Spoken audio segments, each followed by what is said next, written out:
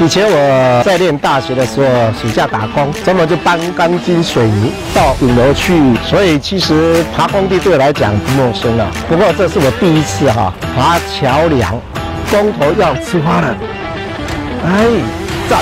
你看到一个桥塔，实际上它埋在地底下的基座，大概就有三百多平的一个面积。现在来看我们的安心桥，真的超棒的，这安全接地没问题吧？来试试而已，坐。哦，等于是我们现在在这个地方，这动作可以，不要翻，我这样可以适应转一下，大家要扶好哦，小心哦。轨道桥梁里面转具有两百二十五米，是我们全国第一座，所以这个很不容易啊。施工起来大家都非常的辛苦。我们现在进度是百分之六十三，未来还有将近百分之三十八，还要拜托他们来把整个斜张桥完成。我们都已经准备就绪了吧？对。如果准备就绪，就可以开始作业了。这个要在里面闷热的这种天气底下手螺丝嘛？你想刚碰到大热天的高温，哈，烫死人了，那真的是我们不是一般人可以忍受的。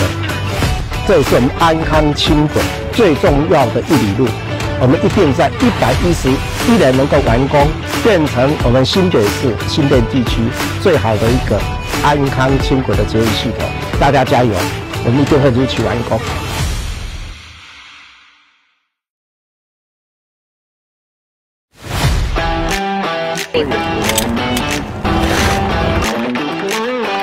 以前我在念大学的时候，暑假打工，专门就搬钢筋水泥到顶楼去，所以其实爬工地对我来讲不陌生了。不过这是我第一次哈爬桥梁，工头要吃花了，哎，赞！你看到一个桥塔，实际上它埋在地底下的基座，大概就有三百多平的一个面积。现在来看我们的安心桥，真的超棒的，这安全阶梯没问题吧？来试试而已，坐。哦，等于是我们现在在这个地方，这动作可以，不要翻，我这样可以适应转一下，大家要扶好哦，小心哦。轨道桥梁里面转具有两百二十英米，是我们全国第一座，所以这个很不容易啊。施工起来大家都非常的辛苦。我们现在进度是百分之六十三，未来还有将近百分之三十八，还要拜托他们来把整个斜张桥完成。我们都已经准备就绪了吧？对。如果准备就绪，就可以开始作业了。